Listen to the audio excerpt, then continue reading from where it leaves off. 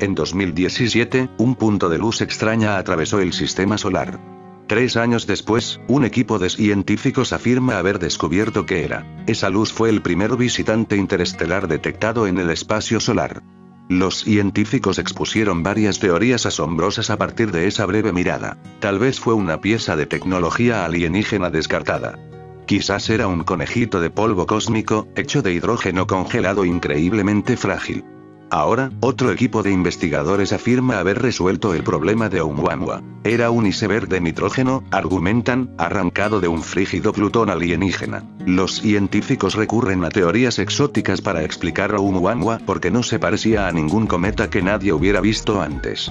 No solo provenía del espacio interestelar, sino que también destellaba como el faro de un faro. Ningún telescopio tomó una imagen lo suficientemente decente como para revelar su forma, pero ese patrón regular de luz cambiante sugiere que el objeto estaba girando y era ancho y plano como un frisbee o muy largo y delgado como un cigarro. Aún más extraño, aceleró al pasar el Sol, como si fuera un motor cohete débil que bombea algún tipo de propulsor. Los cometas también hacen esto, pero su propulsor, el vapor de agua, es visible para los telescopios. Lo que sea que empujaba a Oumuamua no lo era. Ambas teorías populares anteriores sobre el origen de Oumuamua fueron diseñadas para explicar ambas características del punto parpadeante distante. La teoría de la tecnología alienígena, avanzada por el astrofísico de Harvard, Aviloe, sugiere que el objeto era una vela ligera, un disco ancho, ultrafino y ultraligero fabricado por alguna civilización alienígena que se aceleró debido a la presión de la radiación solar. La teoría se ajusta a los datos, pero otros científicos argumentaron que no es necesario saltar a una explicación extraterrestre. Oumuamua es extraño, sí, pero principalmente porque los astrónomos simplemente no lo vieron muy bien, dijeron los investigadores en 2019. La teoría del conejo de polvo cósmico propone que el objeto era más o menos una nube hinchada con forma de cigarro de hidrógeno sólido y polvo interestelar.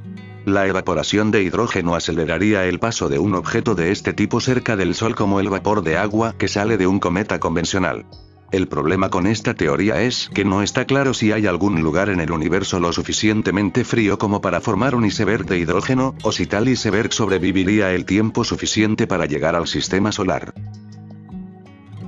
El hidrógeno se congela solo unos pocos grados por encima del cero absoluto, algo que nunca se ha visto suceder en ningún lugar del espacio, e incluso la luz distante de las estrellas lejanas y el resplandor del fondo cósmico de microondas cocinarían un bloque de iceberg de hidrógeno flotante hasta la muerte si vagó por el universo durante demasiado tiempo. Si hay muchos Oumuamuas por ahí, es probable que sea una señal de que la hipótesis del hidrógeno era correcta.